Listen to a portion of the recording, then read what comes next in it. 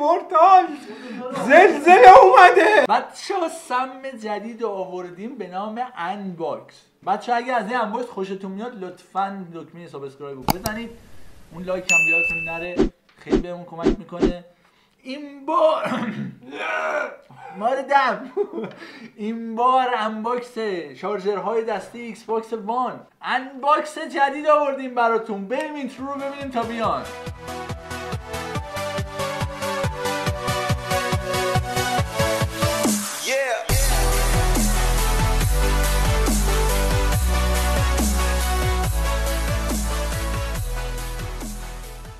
بچه های به انباکسمون برسیم بازش کرد. تو تونستی هکتور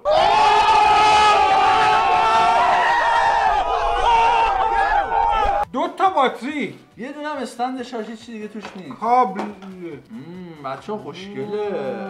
نه رنگ سیاش قشنگه. چه برق برقی هم می‌زنه. ورق ورق بچه یه مهمون خیلی ویژه برامون اومده. اومده انباکسمون از نزدیک ببینه. علی آرچر به افتخارش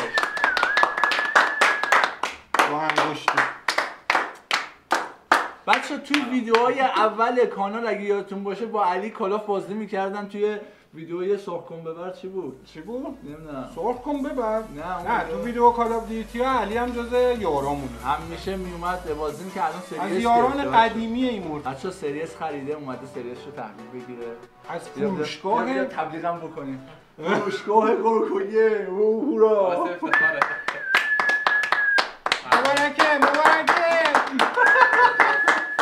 این دسته سری اس و ایکس مال دسته سری اس کنسول عادی می‌بینی؟ نگرانه هکتور اینجوری داره اینجوری نگاه می‌کنه. ایفون نزنه به چخ بره دستم. نه به چخ نمیره. نگران نباشه می‌ذاریم اینجا. بعد نمیره تو فشار بدی. خیلی نه. بچه اینو به هم نمی‌خوره. اینجوری که ما تست کردیم. آره با خیلی فشار بدی بهش بخوره. یه سری اس و ایکس اینا برای ساخته نشده. اینا برای دسته ایکس باکس وان ساخته شده. ما اینجا الان لک چی داریم؟ لک؟ لک کنترلر ایکس باکس وان بله.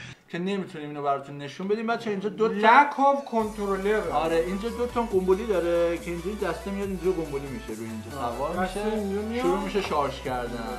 خیلی خوبه.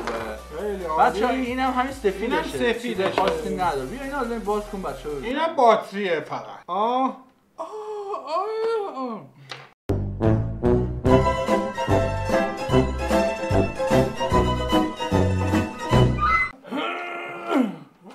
unbox شد. unbox بله. شد. بچه یه کابل هم به صورت اشانتیون توی جعبش هسته این از این بیلبیلک های سرش نداره که بتونید با stand شارژ بکنید. فقط فقط. اوه فقط کابل می‌خوره. بچه کابل می‌خوره مستقیم به اینجا. چه نکته ظریفی. بله بله. بیلبیلک نداره. آفرین. امیدوارم که از ویدیوهای ما خوشتون اومده باشه. شماتیک هم می‌خواید. اینو شماتیک احتیاجی یه نیست. کارش می‌کنیم آره. مرسی. از شما که همراه ما بودید اول به فکر خودتون باشید ولی فقط به فکر خودتون نباشید. مرسی از like و subscribe. مرسی از subscribe. بچه ها بیلاخ یادتون نره